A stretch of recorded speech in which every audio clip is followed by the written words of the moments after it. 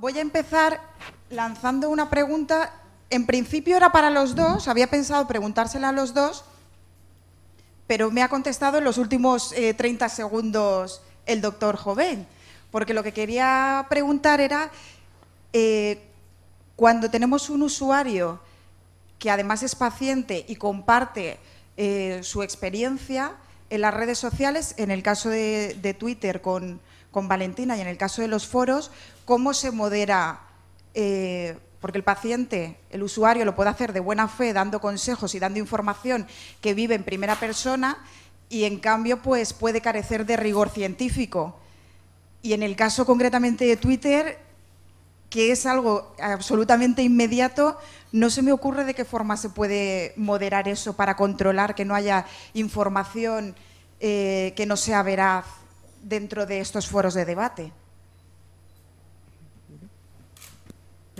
yo creo que en, lo que es Twitter, que lo dicen para más fácil Hickson LA, sí, como un poquito más sencilla.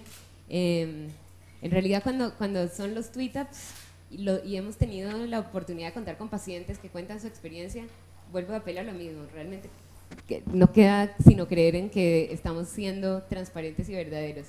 Eh, como tú misma dijiste, de rápido, es de, momento, controlar lo que la gente está diciendo es imposible, eh, o es muy complicado por lo menos. Ayer, ayer conversábamos eh, a la comida que si la comunidad, o cualquiera que sea, sea una comunidad de estas de Twitter, sea una comunidad hecha en Facebook o cualquier cosa, está basada sobre lo que realmente son eh, los principios que he mencionado, la transparencia y la confianza, la misma comunidad se va a encargar de sacar, por ejemplo, a los pacientes que, que vienen a decir groserías o aportar cosas que no son. Simplemente la misma comunidad se va a encargar de excluirlo porque no, no es esto lo que somos parte, ¿sí? Como que entonces creo que hay que aprovechar esto y hacer que en, en, lo que a eso se refiere, que ellos mismos puedan, mejor dicho, que todo el mundo se ponga la camiseta de hacer respetar la comunidad. Es como ayer, el ejemplo perfecto es, yo invito, sucede en la vida real, hay una fiesta, yo invito a una fiesta a mi casa y por ahí hay alguien que se está portando mal y yo tampoco tengo, mejor dicho, por la misma gente la va lo va a excluir de la fiesta, ¿sí? es un caso extraño, pero eso es lo que sucede en la vida real también. Yo no, puedo controlar a todo el mundo. Póngase esto más así. Ah, ok. Está ahí. Bueno, ya. ¿Y en el caso del doctor Jove? Bueno, los foros estos que están planteados están planteados de una manera en las cuales hay un moderador, quiero decir que no es foro abierto precisamente a evitar esto. A ver, yo creo que hay que tener mucho cuidado con varias de las cosas que han salido aquí en el rato, poco rato, desafortunadamente, que he podido estar yo, ¿no? que me hubiese gustado estar más. El primero es, hombre, ojo con lo que la gente cuenta en Internet. Ojo porque eh, hay, mucho, hay mucho miedo, es decir, hay mucha gente que engaña, que miente, que falsea y, que hace mucho daño. ¿no? Y cada vez esto va a ir a más, con lo cual hay que ser muy prudente con las informaciones que se leen porque esto de que uno se sitúe en la vida como independiente, eso es, en fin, es algo supremo, ¿no? pero que en el fondo nadie es independiente. Es decir, todo el mundo tiene sus filias ¿no? y, sus no filias. ¿no? Entonces hay que tener mucho cuidado en ese, ese tema porque hoy mismo uno de los problemas que yo tengo en mi mesa es que un programa de Telecinco de la semana del sábado va a comenzar a entrar con medicinas alternativas y cáncer y si lo paramos antes lo paramos después. ¿Eh? Porque nos da miedo por el daño que esto puede hacer a los pacientes con cáncer, no por el daño que me haga a mí, que es ninguno, porque además a esa hora yo veo otras cosas. Pero, pero otra de las cosas que yo creo que es importante es que el paciente que vierte información en un foro sobre su realidad puede ser objeto de discriminación laboral o de discriminación social. Eso a veces el paciente no se da cuenta. Es decir, el, acto de compartir tu experiencia vital con otros es un acto de generosidad. ¿Eh? Y es un acto que no está exento de consecuencias. Yo mismo que es público y notorio, porque yo lo he querido que... Bueno, tuve que hacerlo así porque hubo una filtración que me ponía más grave hace 10 años de lo que yo estaba y lo tuve que hacer público, que yo era un paciente de cáncer. Yo mismo tengo un seguro de vida que es un 50% porque soy enfermo de cáncer. Es decir, o sea, por lo tanto he sufrido la discriminación de ese tema. Por lo tanto hay que tener mucho cuidado con la información sobre tu persona que viertes en, en, internet, en foros y tal, porque has de asumir las consecuencias. Yo las asumo encantado, ¿no? Pero, pero, pero mm, es... Y luego, cuando la gente dice cosas tuyas que no son verdad, que eso suele pasar, y, aquí antes ha habido un debate sobre un tema parecido, yo creo que hay que ir a los tribunales. Ya sé que la justicia funciona mal, que es lenta y tal. Yo tuve una experiencia de alguien que se inventó cosas que, bueno, y en algún momento me costó mucho entender cómo podía defenderme y no lo hice porque llega un momento que el equilibrio es si le das más pábula o esperas la segunda, pero la segunda que lo haga, eh, hay, hay, hay, una norma de fiscalía en España por el cual la persona que te acusa de algo en Internet tiene que demostrar que es verdad. Y si no lo demuestra, tiene que retirarlo. ¿Pero se refiere a nivel de paciente o como profesional? No, gente que te acusa. Es decir, en, en, en Internet hemos perdido un poco los límites de la privacidad, los límites de la confidencialidad, los límites de muchas cosas y, y, y, eso, por ejemplo, los que tenemos hijos adolescentes, es un machaqueo diario que estamos con el tema. ¿no? Es decir, a nosotros como sociedad nos ha costado mucho, yo también tengo ya 50 años, ¿eh? y nos ha costado mucho llegar al nivel actual en el cual hay unas ciertas barreras que se han de respetar. ¿no? Es decir, tú puedes decir lo que te dé la gana de ti, pero no de los demás y por lo tanto hay unas ciertas barreras que se han de respetar y hay unos límites a la privacidad y a la confidencialidad. La ley de protección de datos no es una tontería, eh, viene motivada, como todas las leyes, eh, puede tener un exceso que puede no ser justa, pero claramente respeta unos límites de que la gente no crea que esto no tiene barreras y que puede decir lo que quiera de los demás o, de, o, o que pueda hacer creer que él se ha curado con algo que luego resulta que es mentira, ¿no? pero que te está vendiendo el producto. Yo pero, tengo más, por ejemplo, a medicinas alternativas ahora mismo en Internet que a, la, que la, industria farmacéutica, porque la industria farmacéutica tiene una reputación que cuidar y por lo tanto ya se estará ella de, de, vertir contenidos que no son adecuados, pero en cambio lo, de las medicinas alternativas y lo de los uh, falsos curanderismos, sobre todo en el campo del cáncer, te puedo asegurar que es una barbaridad lo que está pasando. ¿eh? Pero doctor, eh, volviendo al, a la pregunta concreta, en los foros de las páginas estas que nos ha mencionado, ¿quién modera o quién decide qué, qué, se puede publicar y quién puede comentar? No, puede comentar todo el mundo, pero tiene que haber un moderador que filtre los contenidos. Es decir, hasta que el contenido no salta, tú tienes que claramente ver que el contenido no hace daño. Esto y que, es como un y que si tiene algo de información científica o, sí, o de alguna experiencia el, el, personal que sea foro, veraz. Foro, el foro, es muy excepcionalmente un sitio para informar científicamente. La información científica está en PubMed y la puede eh, ver todo el mundo y además hay una cosa que se llama Medline Plus que los americanos pagan en castellano, en castellano para que lo puedan leer cualquier ciudadano. Con lo cual la información científica de calidad ya sabemos dónde está. No vamos a hacer 70 sitios más. Lo importante del foro es si en España, que pasa a veces, te niegan un tratamiento, una cuestión económica que tiene una calidad, eh, bueno, que alguien te lo pueda decir en el foro. Pero ojo porque hay unos límites, ¿me entiendes? Unos límites en el sentido de que lo que más vemos ahora mismo en Internet y lo que más recibimos nosotros como consultas es falsas atribuciones más que defensas reales de tratamientos que sean eficaces. Bien. No sé si eh, hay alguna alguien que quiere algo.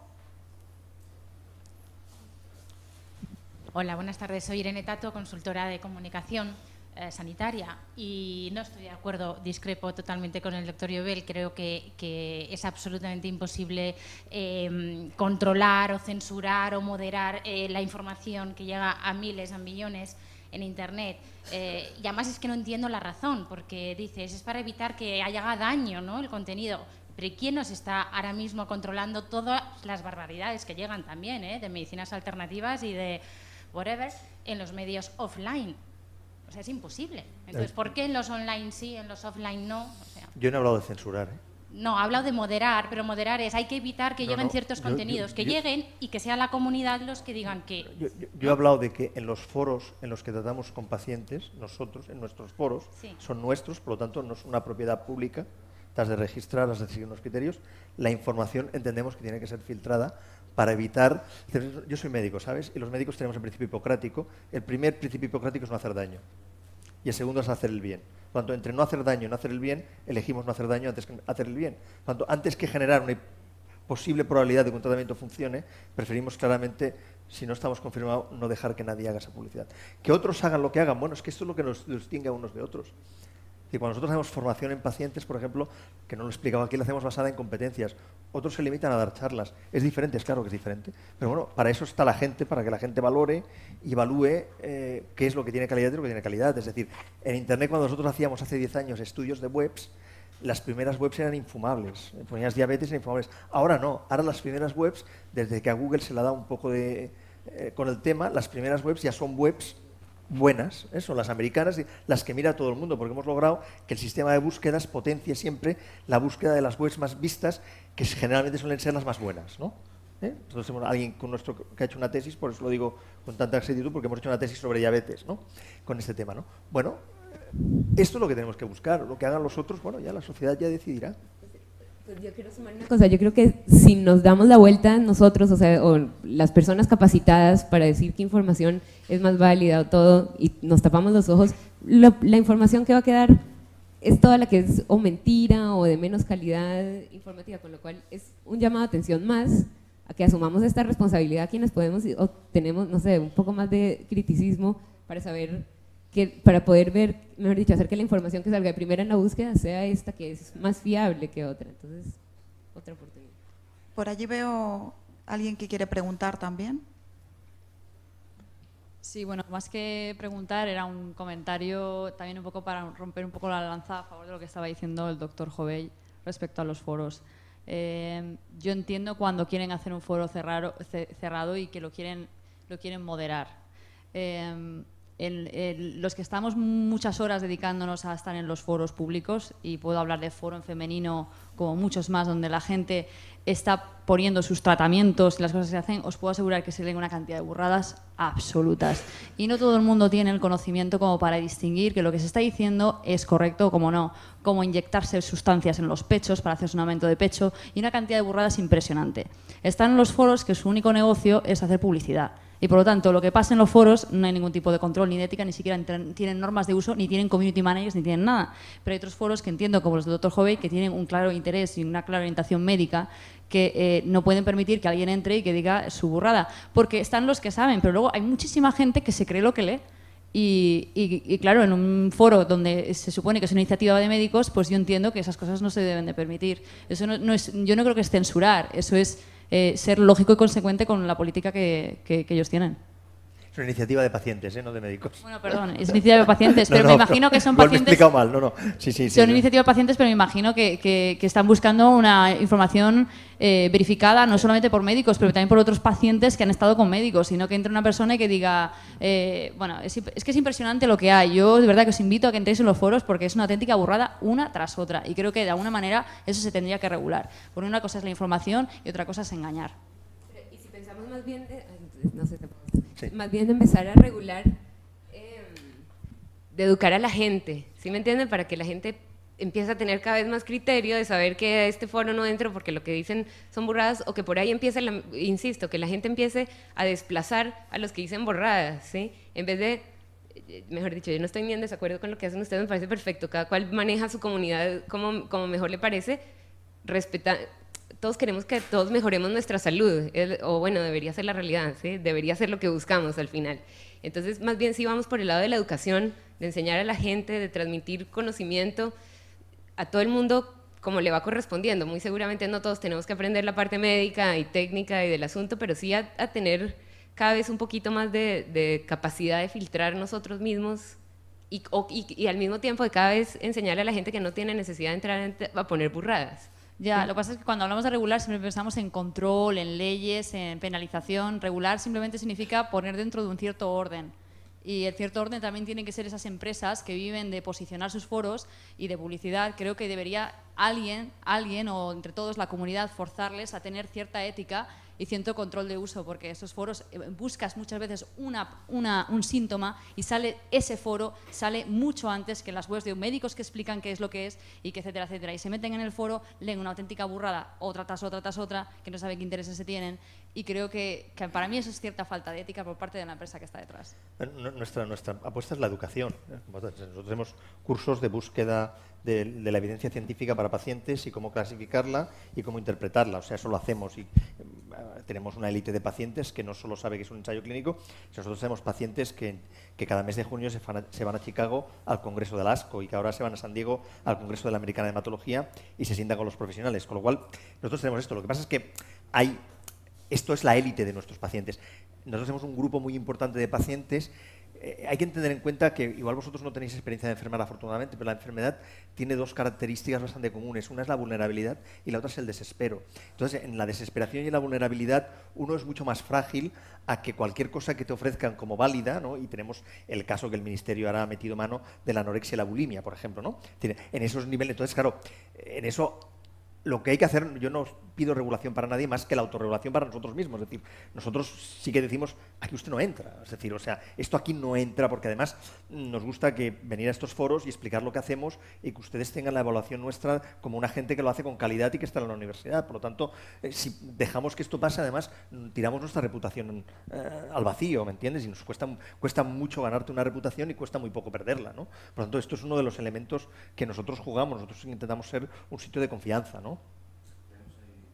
Sí, otra, otra pregunta. So I just wanted to make a quick comment, actually. Um, so it's something that we've thought about a lot in the States as well, of course. Um, you know, whether or not you have a closed forum or if you have a, a an open, more open forum. Um, I guess I, this is just speaking for me. This is not representing anybody else. Um, it's an opportunity when you have a forum that is moderated to, or even somewhat, even if it's lightly moderated, to counteract the misinformation that's out there because people are talking about it anyways. If they're not talking about it on your forum, they're probably talking about it, you know, on the street with their friend or maybe at the store or they're hearing about it through some other means that you know, it, it's, it's an op- you can look at it as a, as, a, as a threat or an opportunity, and I would invite people to think about it as an opportunity to counteract the bad information that's out there. Instead of saying, well, you can't talk about that here, saying, well, wait, you know, it's being talked about. How do we present more information to people who might have misinformation? ¿Con eso en castellano o en inglés? Oh, okay, I, I, I, think you know. Uh, I, I, agree with you. I mean, I mean, what, what, we think is that we need a moderator, and the moderator really makes a filter for anything you want to put there. What uh, I don't believe it really works, and, and I, I'm not feel satisfied about. It's open forums. In which time, any day, you can put anything there. Because that, at, at the end, as I said before, in the vulnerable patient, that really affects uh, at, at, least the mental health. I mean, you know, because you, you might do things, uh, induce you to do things that they, they, they, are not good for your health. So you have to take a lot of care of what you're doing there. Thank you. Bueno, no sé, eh, ¿tenéis más preguntas?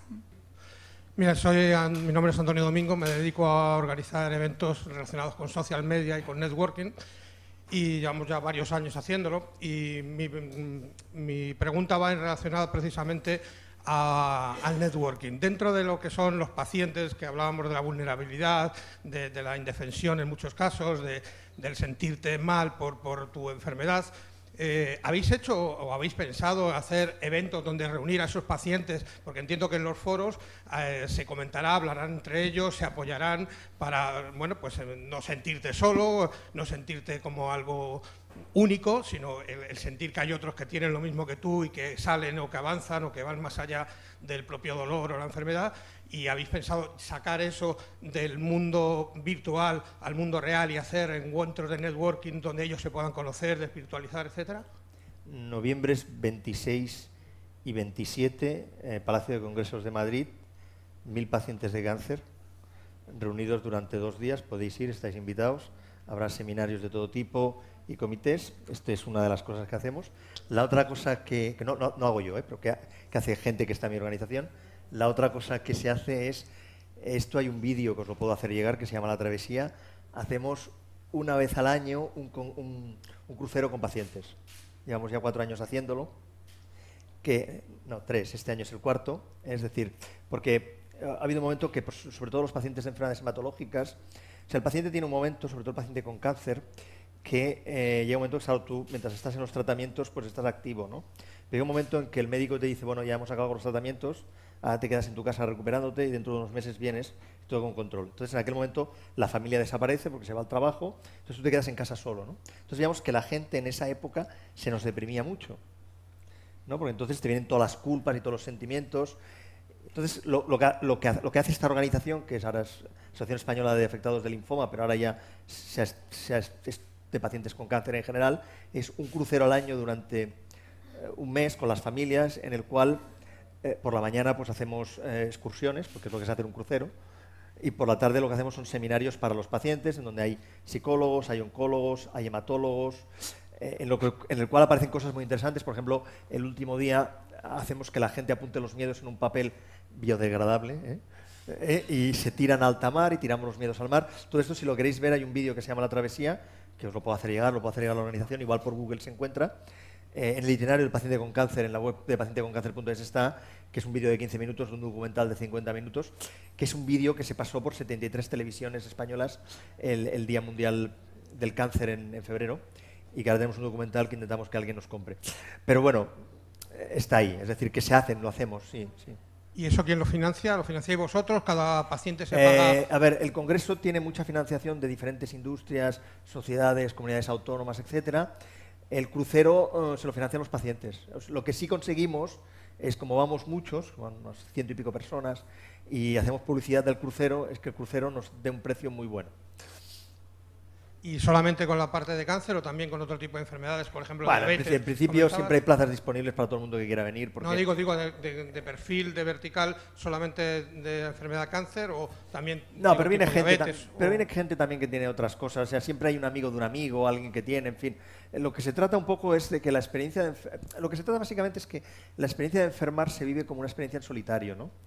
Entonces, claro, el enfermo siempre piensa que las cosas solo le pasan a él, ¿no? Es decir, eh, y bueno, y los demás piensan que las enfermedades le pasan a los demás. Yo, cuando estuve en Río de Janeiro, encontré una frase genial de Lula, ¿no? que ha tenido un cáncer de, laringe, ¿no? que decía, dice, lo que a mí me ha pasado es algo que yo sabía que le pasaba a la gente, pero yo pensaba que le pasaba a los otros, no, no me pasaba a mí. ¿no? Bueno, pues al final la enfermedad es una cuestión de tiempo, ¿no? nos afecta a todos. ¿no? Eh, dicen a veces los médicos, decimos de broma, que es una cuestión de estar insuficientemente explorado. ¿no? Pero, eh, es decir, todo el mundo está invitado. Si quieres venir, te hacemos la, eh, la información y estás invitado. Es decir, porque lo que se trata es de compartir experiencias en, lo presencial. Ya, pero un enfermo de diabetes no se va a identificar con un enfermo de cáncer. bueno, perdona, en lo de la enfermedad sí. En lo de la enfermedad sí. pero es que además te puede pasar como a mí, que tengo cáncer y soy diabético, con lo cual eh, te, te, ayudo a hacer la conexión. O sea, no te preocupes. Bueno, no, no sé si, si nos da tiempo a hacer alguna, Ángel. No da tiempo. Es interesantísimo. Supongo que seguiremos el debate eh, al acabar fuera, tomándonos algo dentro de, de las instalaciones o fuera.